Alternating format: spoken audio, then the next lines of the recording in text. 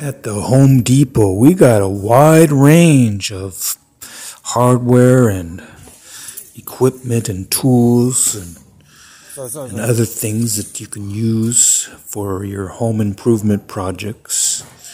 And we can tailor uh, even custom products, specially designed in our cabinetry department or our flooring department or even our plumbing department. We can help you with custom projects and uh, conventional projects. Mm, shh.